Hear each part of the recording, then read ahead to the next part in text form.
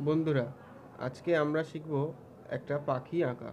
পাখি আঁকতে গেলে সবার প্রথমে আমাদের একটা ললিপপ ড্রয়িং করতে হবে। ললিপপ মানে একটা সার্কেল আর একটা স্ট্রেট লাইন। এর নিচে আমরা একটা ডি এর মতো লিখব। যদি খাতাটাকে আমরা ঘোরাই, তো আমাদের ডি মনে হচ্ছে না এটা এটা ডি এর মতো লিখব।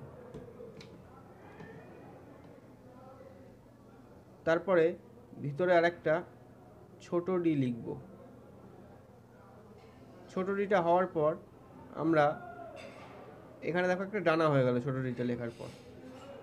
তারপর আমরা ঠোঁট আঁকবো বাকি। ঠোঁট আঁকবার জন্য আমরা কি করব?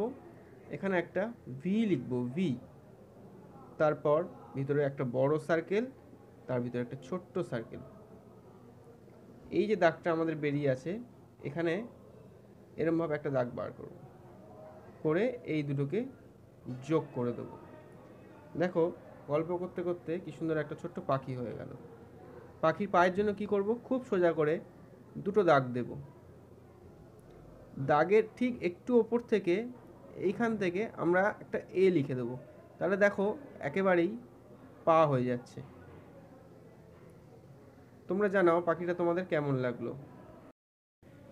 স্টেপ বাই স্টেপ চ্যানেলের আজকের স্টেপস মাত্র পাঁচটি স্টেপ ফলো করলেই হয়ে যাবে একটা সুন্দর পাখি।